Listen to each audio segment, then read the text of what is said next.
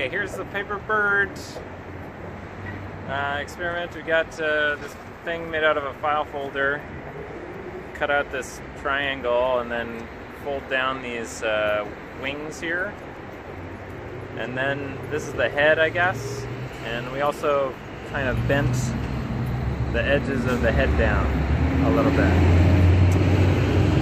And we've got a string with some streamers attached at the back and then a pretty long string at the front. It's they say up to like 10 feet. I think this is maybe seven or eight feet or something. I don't know. Okay, so I'm just gonna run a run with it.